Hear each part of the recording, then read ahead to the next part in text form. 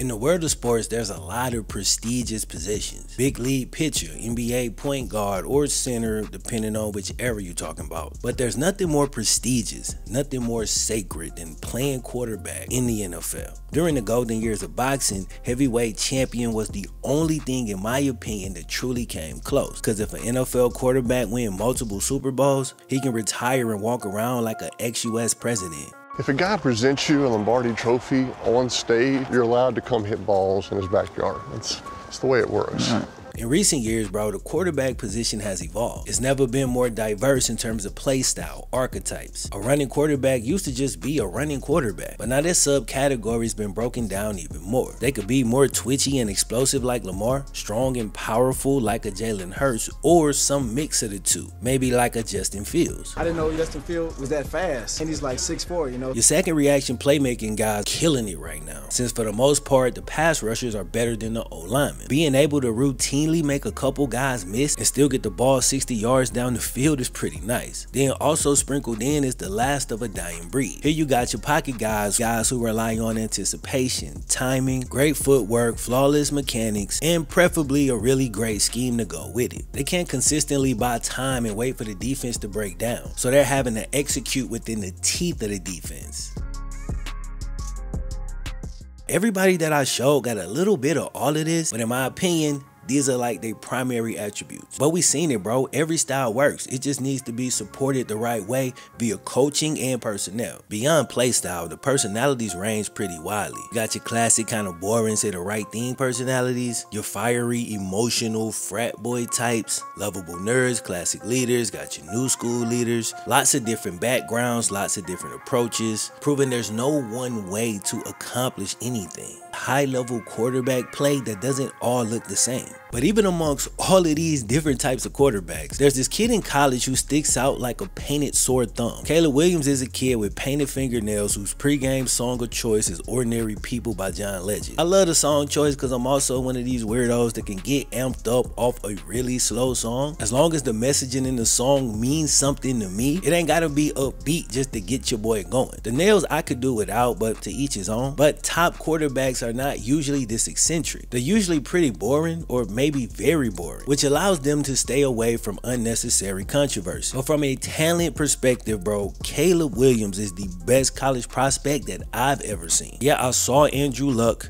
Yes, I saw Trev, and of course I saw Joey. As far as Mahomes, in college he was seen as more of a boom or bust prospect, but when he got to the league, you know what happened, bro. But watching Caleb is like somebody took NFL Mahomes, plucked him out the NFL, and just dropped him off in college. Almost everybody got him going number one overall, and his camp is so sure they've been making some pretty interesting statements. The reason why I play is, is to be immortal, and to be immortal, you gotta win championships. Last month, his dad came out and said basically that if the wrong team gets the first pick, Caleb might just go back to college. Now, top quarterback prospects and actually their dads have made very similar statements and moves in the past. Eli Manning's dad, Archie, famously didn't want his son playing for the Chargers, so he flexed his muscle to get his son to New York. And I ain't saying he'll have the same playoff and Super Bowl success like Eli, but as a college prospect, Caleb's on a whole different level. And there's no disrespect to Eli, but just in terms of talent and college production, coming into the league, Caleb's ranked much higher, so if Eli could pull an Eli, then I don't see a reason why Caleb couldn't pull an Eli. And of course, there's other greats like a John Elway who are beloved despite pulling a similar move.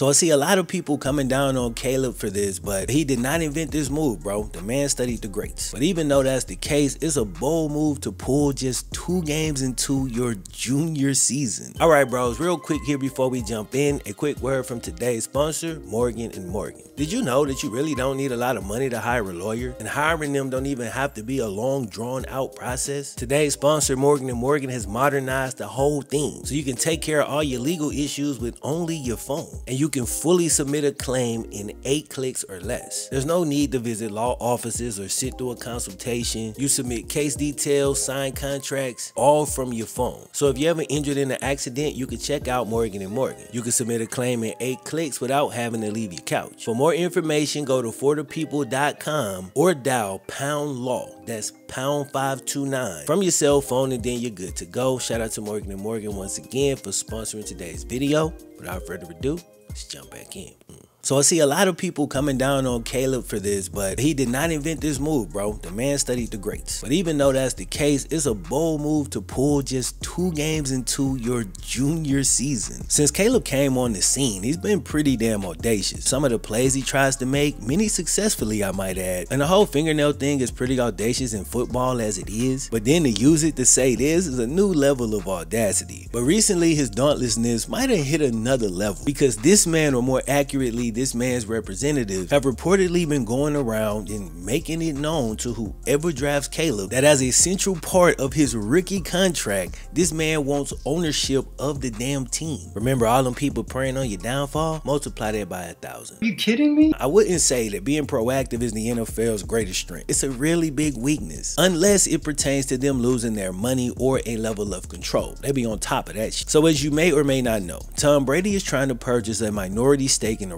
Raiders, but the deal's being held up as other NFL owners are concerned about Mark Davis selling equity to Brady for below market price. At one point, it was even rumored that Brady was trying to do both, buy ownership in the team and start as the team's quarterback. And back in May, an NFL spokesperson said that this was possible as long as three-fourths of league owners agreed to the whole thing. Now, the source I traced that back to was actually TMZ, so some people might question whether the league really said this. Well, a couple months later, seemingly out of nowhere, the NFL voted to prohibit employees who were not family from being able to take equity in teams. This was actually announced nearly three months ago now. You may or may not have heard about it. This is my first time seeing it. And there's a very simple reason why you're hearing about it now. Because Caleb Williams just played the worst game of his career. See, way back in July, Pro Football Talk reported that Aaron Rodgers and Caleb were among some of the players, quote, jostling for equity of an NFL team.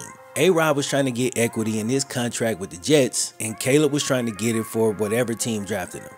Now, if you're feeling it's okay for A-Rod to ask because of what he's done in the league, and not okay for Caleb because he's done nothing in the league, then let me say this. I agree with you. Despite that, I don't know the exact order of the events, but I know that within 24 hours of the A-Rod and Caleb story being published, the league passed this new rule. But like I said, bro, this story happened three months ago and it only resurfaced after Caleb's worst game. And it's funny because a big part of the coverage has been how arrogant he is to play the worst game of his life and then immediately want ownership. And maybe for you it sounds arrogant no matter when he said it. But the story was so very clearly resurfaced to trigger you and make you feel negatively about the kid. But again, bro, the story dropped three months ago. And at the time it came out, no one thought it was a big deal. I'm sorry, but I find it kind of amusing that after the three interception game, all of a sudden cats is outraged from a three month old story that they didn't give a damn about three months ago. It went from that's a non-story, you know? Maybe he might get it. Then pick, pick, pick, you cannot draft this kid. That story's a red flag and everybody knows it. In an updated article, Mike Florio tried to put it to bed saying, quote, It's important to remember that neither Rodgers nor Williams are currently pursuing this strategy. Thanks to the rule change, they can't. It's an old story and is currently a non-story. So if you're looking at Caleb sideways behind that one, maybe the added context changes your mind. Maybe it doesn't, which is cool, but you know, that's the real story. With that said, bro, regardless to when it actually happened, some people will see the ask itself as a red flag for Caleb. Do they have a point? Let's try to zoom out and you can't get rid of it, but turn down the bias. Some of us, for whatever reason, have decided we're against the kid and no matter what he does, we'll see it as negative. While some of us have decided that the guy can do no wrong, and no matter what he does, we'll be there to defend it. I'll do what I normally do and abstain from joining either gang, cause the truth is none of us know how his personality will develop. I'm rooting for him, but at this point, it could go either way. Caleb's very unique, cause he's the biggest star in college football at the same time the NIL money hit. Then he win the Heisman with two years of eligibility left, which gives him a level of leverage that we've really never seen. Dudes in every commercial, some with NFL legends, already making legal millions as a college quarterback. It's official. Caleb Williams is transferring to Wendy's. Then his play style comps him to the best quarterback in the game, and many consider him to be the greatest prospect they've ever seen. Because of all of this, he's in a very unique spot. Dude got more leverage than the Eagles' interior O lineman, which on one hand is dope. Like this man is living the dream. But I do wonder if too much leverage is really good for young athletes. If you follow this channel, you know I'm the type of person that like balance. And for years, the NCAA and the NFL have taken full advantage of most of these athletes. So on one side, I'm looking at it like, bro, I'm glad they're getting theirs. But if it tilts too far in either direction, cats gonna start to fall down. It's like I look at the NBA. How many guys became stars on YouTube before they ever set foot in the league?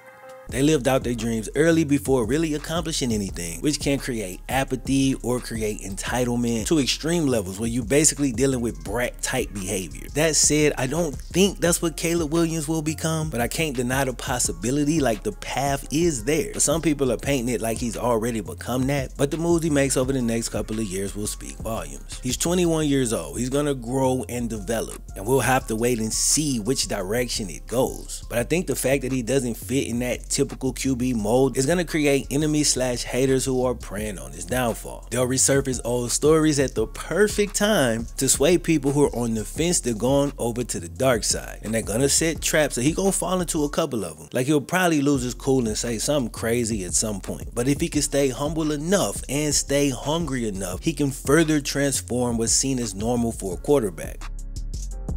He's got a level of eccentricity I don't think we've seen from a top QB prospect since maybe Cam Newton, which means he's gonna have to really be on his P's and Q's, cause that's the type of stuff that make you a target in the media. If you watch this channel, bro, you know I love Cam. I made videos on my boy long after anybody cared. But I do think that some of the quirks within his personality ultimately took away from his NFL career. At times I felt like it got in the way and created enemies who couldn't wait to exaggerate his failures and gloss over his accomplishments. I'm not saying that it's fair and I ain't saying Caleb should change. I'm just dealing in reality of how it actually goes down. Some people are saying that these quote unquote little red flags are gonna hurt Caleb's draft stock, but to me that's a non-issue. One, he hasn't done anything objectively bad. Like the worst thing he did was paint some shit on his fingernail. Couple that with the fact that he's way too good, bro. He's too good to worry about something that's not criminal taking his stock. No, obviously, if he continued to play like he played at Notre Dame, that could hurt his stock, but his talent would probably still overcome that. Not to mention, we know he don't want to play for a trash team, so sliding a spot or two could be a blessing in his eyes. To close it out, let's use a metaphor. The NFL is high stakes poker, and some of these teams have been folding every hand for years. But do you know what'll make them push them chips to the middle of the table? You know what I'm about to say. That's right, a wild card.